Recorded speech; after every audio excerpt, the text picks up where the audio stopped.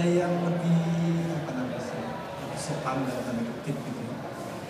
mungkin analoginya kayak inilah ini ini jualan jualan ayam eh, ayam goreng oh di sini juga ada lagi udah dia bayar 10 orang untuk ngantri ke situ gitu ngantri ke depan ke depan ini ya. Mau pesan apa?